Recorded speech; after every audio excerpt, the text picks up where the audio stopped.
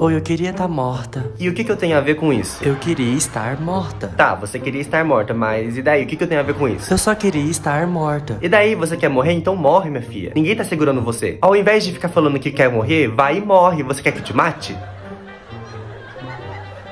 Gente, que mulher feia é essa esperando na recepção? É a Rameli. Ela tá querendo usar nossa pensão como salão de festa. Ô, minha filha, aqui não é salão de festa, não. Eu tô com mil aqui pra gastar. Mas é claro que aqui é um salão de festa, menina. Oh.